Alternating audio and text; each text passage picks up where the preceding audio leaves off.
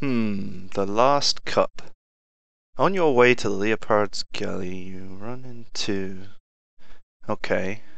Glitch and Behemoth, and they are having a standoff over the last cup of coffee.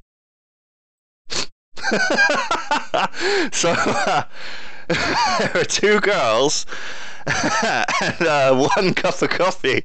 Have I got this right? Two girls, one oh man. Oh, if you don't know why that's funny, don't Google it, kids. Don't Google it.